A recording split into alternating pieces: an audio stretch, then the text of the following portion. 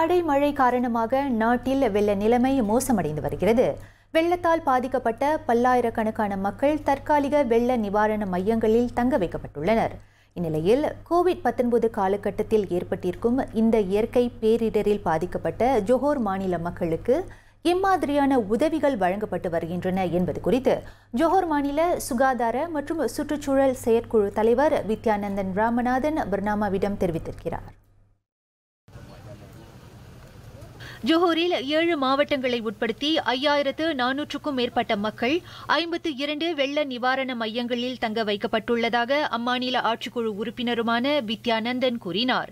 எனினும் பாதிக்கப்பட்ட மக்கள் இந்த மையங்களில் தொடர்ந்து பதிவு செய்து வரும் நிலையில் அங்கு தங்க வைக்கப்படுபவர்களின் எண்ணிக்கை அதிகரித்து வருவதாகவும் அவர் குறிப்பிட்டார்.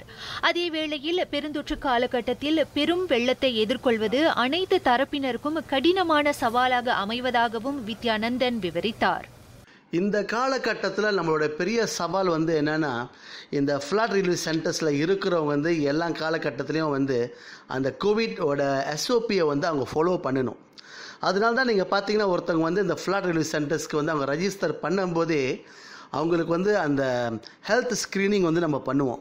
அதாவது அவங்களுக்கு என்னாச்சும் சிம்டம்ஸ் இருக்கா என்னாச்சும் ப்ராப்ளம்ஸ் இருக்கா எல்லாமே செக் பண்ணிவிட்டு யார் யாருக்கு வந்து சிம்டம்ஸ் இருக்குது அந்த மாதிரியான ஒரு சுச்சுவேஷனில் வந்து அவங்க நம்ம வந்து மொதல் வந்து வேறு தனி ரூமில் வந்து அவங்கள ஐசோலேட் பண்ணுவோம்.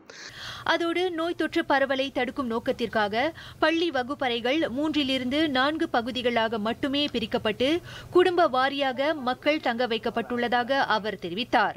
தொடுகை இடைவெளியை பின்பற்றுவதே அதன் முக்கிய நோக்கம் என்றும் வித்யானந்தன் கூறினார். கடந்த காலங்களில் இதுபோன்ற வெள்ள பேரிடர் ஏற்படும்போது நிவாரண மையங்களில் தங்கியிருக்கும் மக்கள் ஒன்றிணைந்து உணவுகளை தயார் செய்வார்கள்.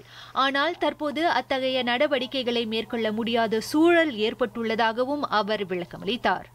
இந்த ஃப்ளட் ரிலீஃப் சென்டர்ஸ்லாம் ஒரு காலகட்டம் நீங்கள் பார்த்தீங்கன்னா அங்கே வந்து கூட்டமாக வந்து அதாவது ஒரு கோத்தம் ரோயம் கான்செப்டில் தான் வந்து சாப்பாடெல்லாம் உணவுலாம் வந்து அங்கே ஆக்குவாங்க. ஆனால் இன்றைக்கி வந்து எல்லாமே வந்து த்ரூ கேட்டரிங் தான். அதாவது கேட்டரர்ஸ் வந்து பேக்ட் ஃபுட் சாப்பாடெல்லாம் பேக்ட் பண்ணி தான் வந்து அவங்க வந்து அந்த ஃப்ளட் ரிலீஃப் சென்டர்ஸ்க்கு சென்டர்ஸ்க்கு கொண்டு வருவாங்க.